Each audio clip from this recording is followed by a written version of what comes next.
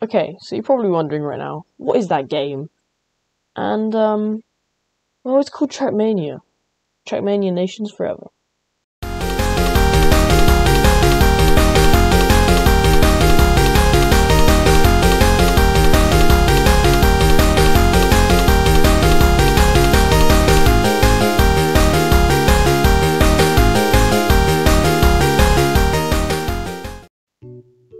So this is the game on the uh, Steam website, and it's really good. I mean, it's on the Steam launcher, and I've played about seven hours, so it's pretty good. There's loads of Trackmania games out there. There's, um, I think there's Trackmania Nations Forever, which is this game. There's just Trackmania.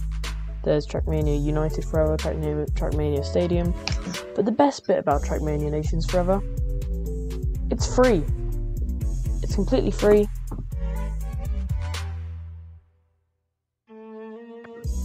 And apart from being completely free for anyone to play, it's 14 years old. I mean, I'm it's it's old. I mean, you're kind of gonna have to deal with that, but it's a really good game, so just get it anyway. Alright, so um, over the course of the last week, I've been playing this game so much. Like, I was playing it on my really bad school laptop, which has like an Intel Pentium before the i3 came out. I'll put a video of it like right here.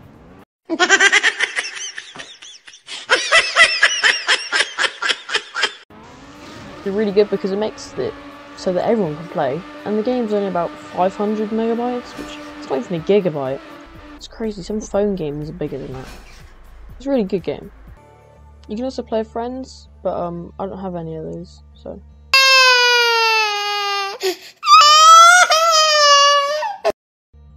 Another amazing feature is the editors. So you can create track, you can paint cars, and you can edit your replays which you've saved. Uh, you can, I think the save replay button's S on the keyboard if you don't have your, if you don't change your keybinds. Um, yeah, making tracks is really easy. So I just use the simple system because um, I don't really want to do anything like that. So you just make a start line, pick a piece, finish line. Boom. Super easy, you can playtest it. And um, I made a really short track, which is quite fun to make. You just go down and bam, nice and quick track. but yeah, there's loads of tracks, features, and stuff like that, which is really good.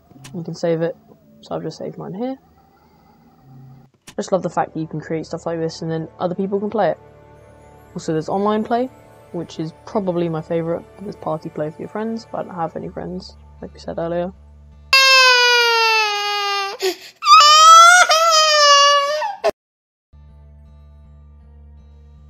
So with the online play, there's leaderboards. I mean, they're all pretty old now because you know it's a, it's, a, it's an old game, like we said, 14 years old. So there's leaderboards for every country and people. Um, I don't think I'm even ranked. I don't know why, but I think it's yeah, it's crazy. It's so many people have played this game. I think it's like nine million downloads or something. Probably way more than that. So I'm just joining a server here. Um, my favorite server is the um, the uh, I think it's SO6 server or something.